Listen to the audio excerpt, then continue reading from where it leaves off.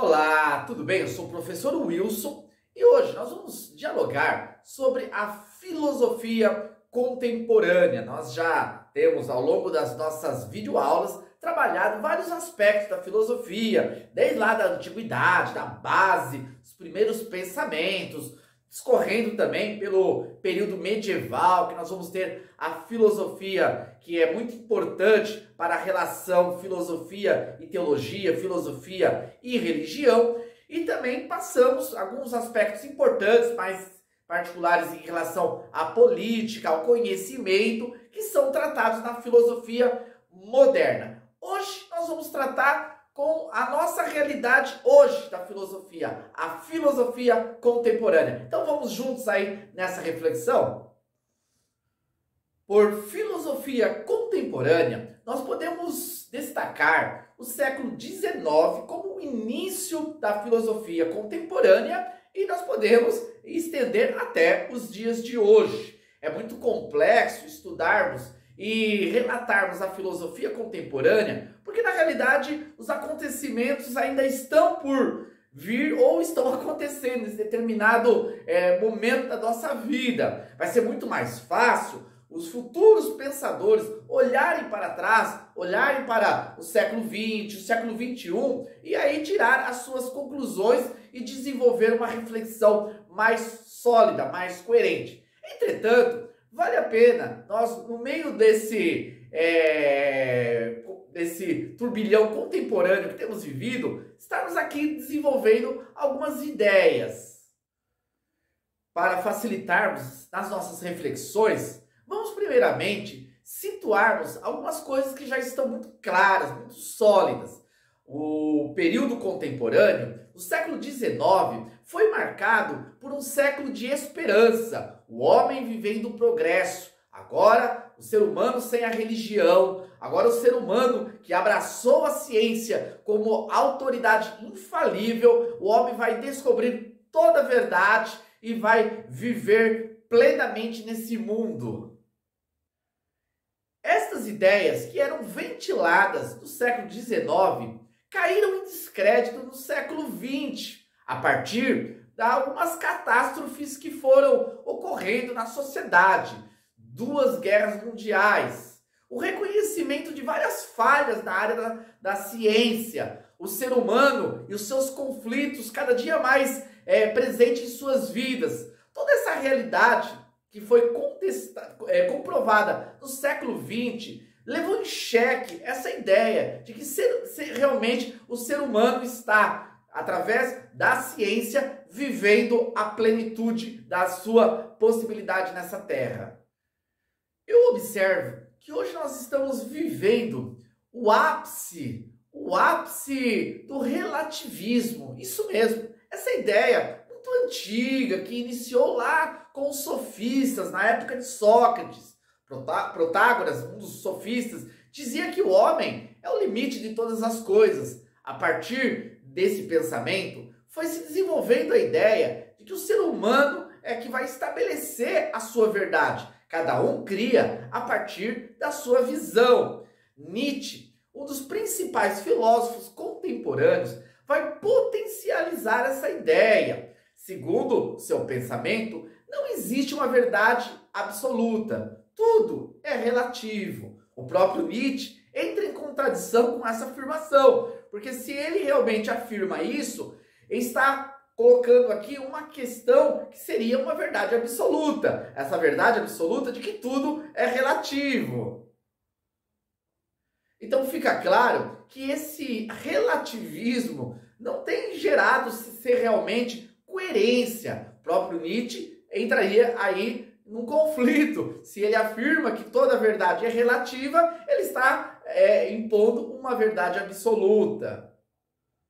Então, dentro dessa nossa é, reflexão contemporânea, nós vamos ver que o que tem marcado esse período é essa ideia do relativismo. Isso está sendo muito aceito pelas pessoas, porque de alguma certa forma traz um certo conforto. Cada um pode pensar o que quer, achar que é o que quer, porque ninguém vai questionar porque isso é um posicionamento particular, é a minha visão. Eu enxergo dessa forma, eu vejo dessa forma. Na realidade, criamos assim, cada um, o seu mundo imaginário e vivemos totalmente é, desconectado com a realidade das coisas. Falo isso porque aquilo que eu imagino e aquilo que eu enxergo não transforma algo em realidade. Não. Se a minha imaginação, se a minha forma de ver estiver desconectado com a realidade do ser, do objeto, do seu tempo no espaço, não vamos ter aqui uma coerência no nosso pensamento e vamos ter aí conflitos em estar alimentando uma inverdade.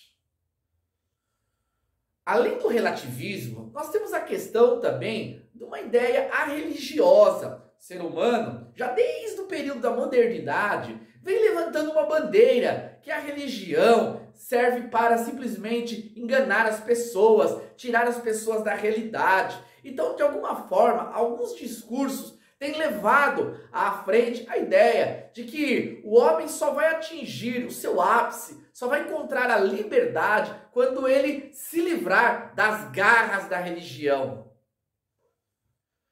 Mas fazendo uma reflexão sobre a realidade contemporânea, nós estamos percebendo claramente que o homem sem religião tem sido um homem não livre, não liberto, tranquilo, não em paz consigo mesmo. Pelo, pelo contrário, tem vivenciado diversos conflitos, conflitos existenciais, sem esperança, sem prazer, sem é, amor pela vida.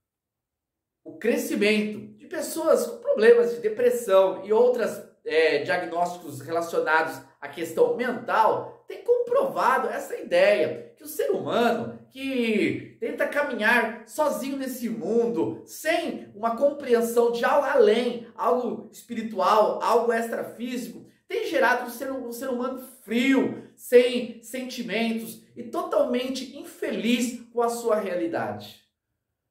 E uma terceira reflexão, além da ideia do relativismo, do ar religioso, tem a questão também da liberdade. Hoje vivemos aí ainda das ideias de Sartre de que o homem só tem uma certeza, ele está condenado a ser livre. Essa é a única realidade da essência humana. Nesse pensamento, nós vivemos uma ideia que gera um certo desconforto para nós. Porque dentro de um discurso que é propagado, que somos livres, estamos mais presos aos nossos desejos, nossos interesses, presos à nossa realidade, presos à nossa sociedade, que na verdade queremos viver uma liberdade que não existe.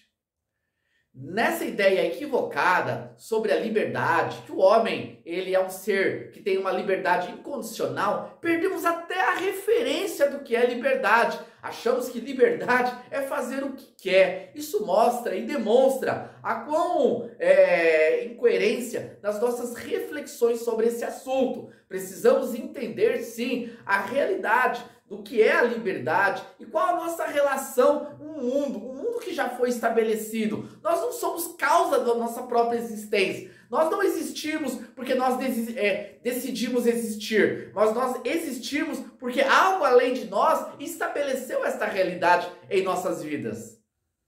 Ampliando um pouco mais a nossa compreensão sobre a filosofia contemporânea, eu quero desafiar vocês a participar de uma atividade, uma atividade prática Vamos lá para esta questão?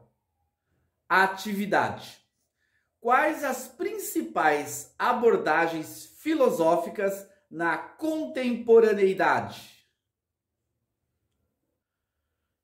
Bom, tentando aqui é, responder essa pergunta, nós falamos sobre algumas características da filosofia contemporânea, que é o ápice do relativismo, o, mundo é, religioso e também a questão da liberdade incondicional. São três características que têm aí perdurado dentro dos pensamentos desenvolvidos na filosofia contemporânea. Sobre a questão das principais abordagens, nós vamos perceber que existem é, ideias maçantes, tá? Que estão relacionados contra a ciência, contra o cientificismo e contra as estruturas básicas que foram estabelecidas a partir do final da Idade Média. Então, hoje, nós estamos vivendo aí um questionamento para com tudo aquilo que foi já estabelecido como verdade, principalmente pela ciência e por algumas escolas racionalistas.